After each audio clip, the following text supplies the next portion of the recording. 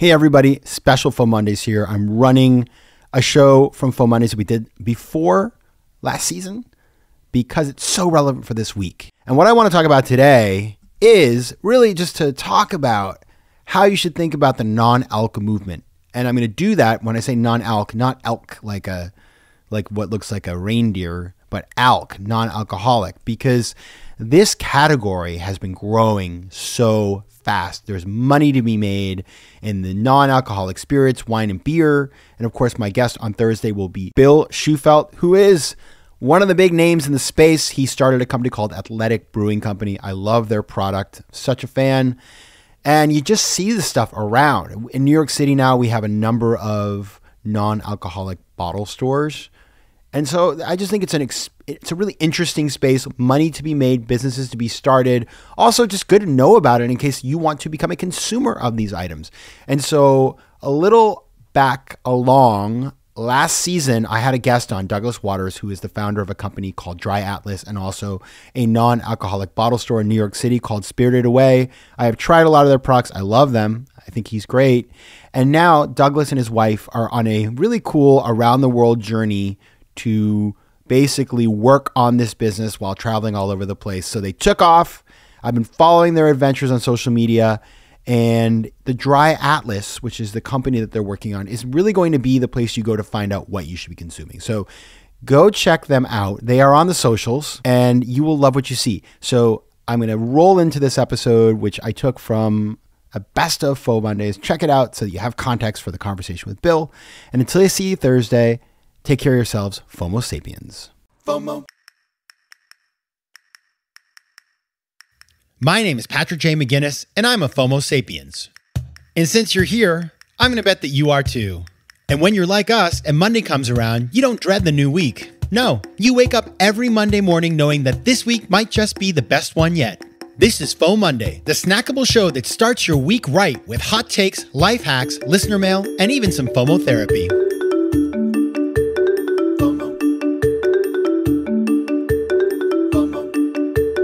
All right, everybody, this is FOMOnday, the snackable companion show to FOMO Sapiens, which of course will drop on Thursday. But until then, happy FOMOnday, best day of the week. I'm your host, Patrick J. McGinnis, venture capitalist by day, author and podcaster by night, and FOMO Sapiens 24 7. Now, on Thursday, we're going to have Seth Goldenberg, who wrote a book called Radical Curiosity. He talks about how we can question commonly held beliefs to do great things. And I thought ahead of that, I wanted to bring on an entrepreneur who's doing just that. I met him here in New York City, and I just like really dug what he's doing. Now, this, this is kind of a crazy story because Douglas, who you will meet in a second, Douglas Watters, was just, you know, working in marketing at Bank of America and then comes up with an idea that is really interesting. He starts the first bottle shop that is focused on non alcoholic beverages. So think about it it's like a beautiful liquor store, but everything inside is non alcoholic. So that's what we're going to talk about today how you come up with an idea like that, how you question commonly held beliefs, because people are like, you think about it, like a liquor store without liquor, that's interesting. And so that's what we're going to talk about. So, Douglas, welcome to the show. Patrick, thank you so much. It's great to be on your show. It is great to have you here. I'm very excited to talk about your business. Uh, your your store is called Spirited Away, and you're going to be talking about this new media concept you're launching called Dry Atlas. We'll get there in a minute, but before you do, let's just talk about this business, Spirited Away, this non-alcoholic bottle store. Like, where did this idea come from? Why did you do this? So it's a long story and it's been a long progression since I was a, a, college student and completely irresponsible and reckless and drank way too much and um, was a very different man than I am today. And as I have aged and as I've matured since then, I have been putting a bigger and bigger focus on health in my life. And I want to live forever. And that's going to be hard to do, but a part of um, uh, one thing that I think will help me to live longer and to feel better while I'm alive is to drink less alcohol. It's for me, it's it seems to have from from the reading that I've done, it seems to have a, a, a pretty big ROI relative to re- reducing alcohol has a has a big ROI relative to other things that I can do for my health. Yeah, and it's interesting because there's been a lot of talk I've been reading articles, kind of these like trend articles in newspapers about the fact that during the pandemic in particular, just a lot of people, you know, it's like rose all day, which wasn't the plan, but it's like, you know, it's like you started the pandemic, you'd have a cocktail at nine, and by the end, you're having a cocktail at 9 a.m. And it's really unhealthy. And as people reemerge into normal life, they're like, that doesn't serve me anymore. I don't want to keep that habit.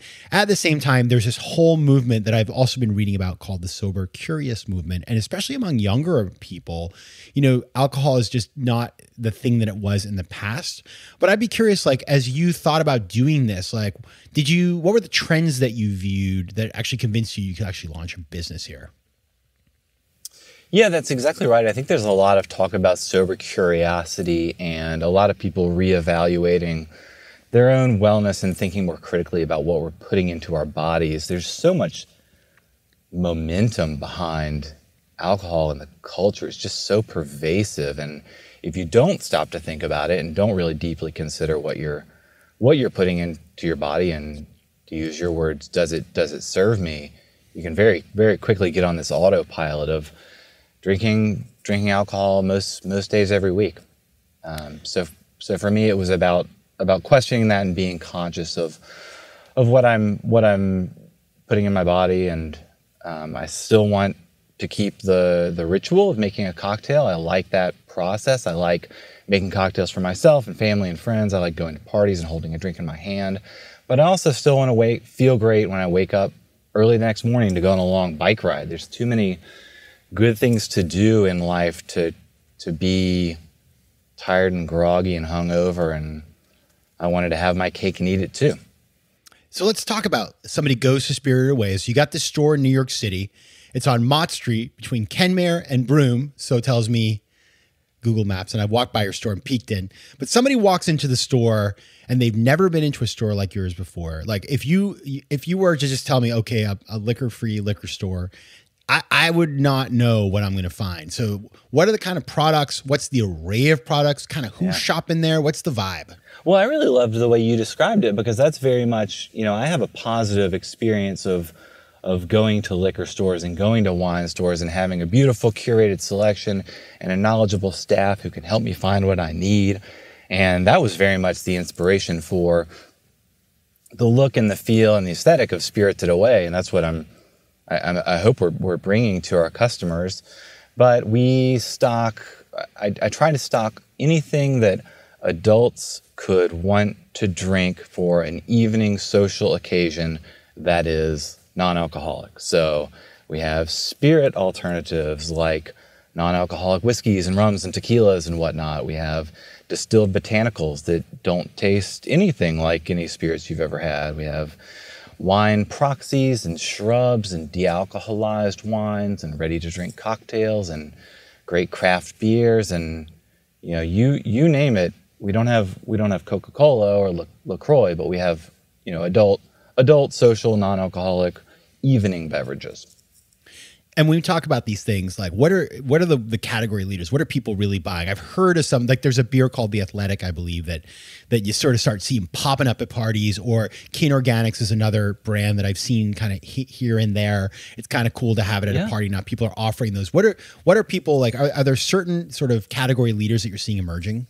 Those are two of the bigger ones. Athletic and Kin Euphorics are, are out to an early lead, but really the category is so young and so new that it's it's kind of anyone's game and it's really developing every every day. Um, mm. it, it's kind of like we'll get new products in all the time that are kind of game changers that people will gravitate toward and i think i think we're, we're still in the very early innings of, of what is going to be a very exciting industry to be a part of. Fomo. Fomo. Now i imagine when you when you launch this company you have the naysayers, people that say like, yeah, I don't know, like how many recovering alcoholics are there out there, or oh, how are you going to convince people? You know, it's it's you got the entire. I mean, how much money? Just think about how much the beer industry spends on marketing, yeah. on brand, on trade and off trade. And so, what were the when you launched this business? Like, what were the nagging kind of doubts that people would throw in your face that you had to kind of overcome?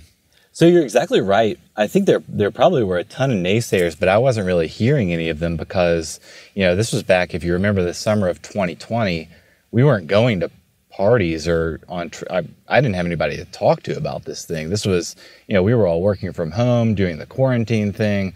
This was very much like something I kind of developed in isolation and maybe doing so without exposing the idea to other people as it was um, developing in my head is what got me what led me to led me to kind of ignore those those naysaying voices.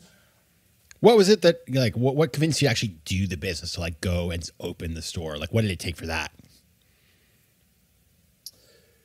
It took my realization that this the the trend of people being more conscious about wellness and uh, taking their health into their own hands is bigger than just a bigger than just a, a, a short term trend and that alcohol reduction and alcohol elimination was going to be a big part of that.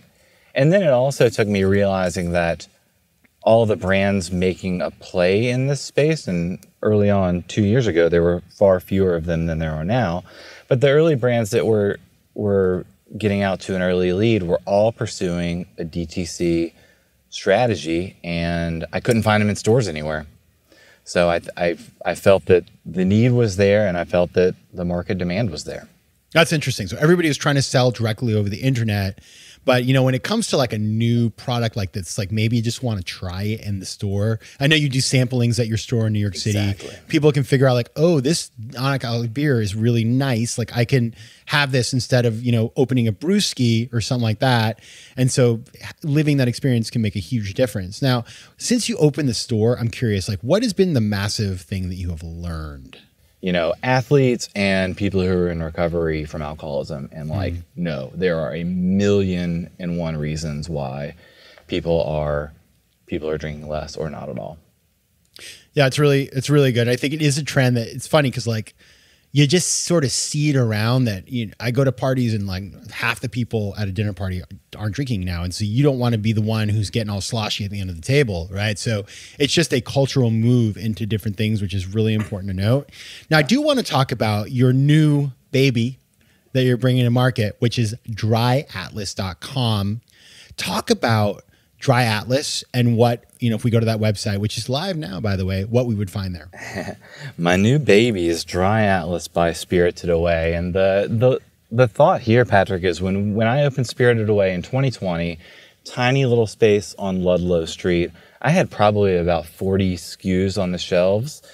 The industry has absolutely exploded since then. I have you know 225 something on the shelves now and there are a ton more that i would love to stock that i just don't have room for to meet the needs of people, people non-alcoholic consumers and people who want to better understand the breadth of the market what's out there what things taste like what is how is this going to make me feel what do i mix this with? There are a lot of questions that my staff and I try to provide a very helpful consultative sales experience when you come to the store, but not everybody can come to Nolita and come meet us in person.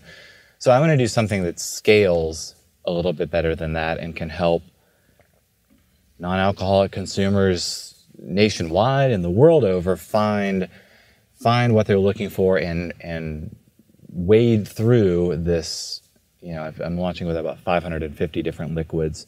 So wade through the just immense complexity of the space now and find find something that's best for them. So it'll be a platform that allows users to rate and discover drinks on the world's most comprehensive non-alcoholic beverage database.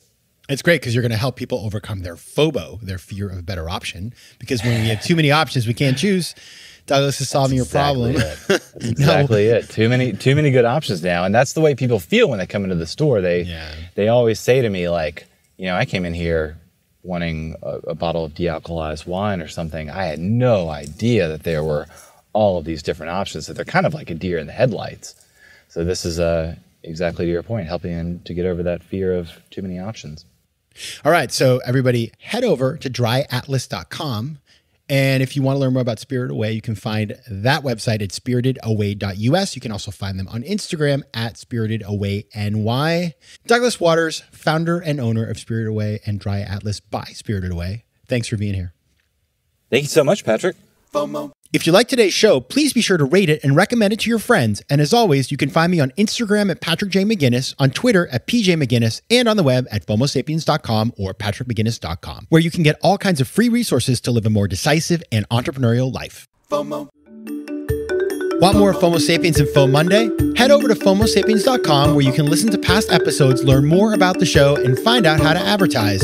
You can also connect with me on Instagram at Patrick J. McGinnis and on Twitter at PJ McGinnis.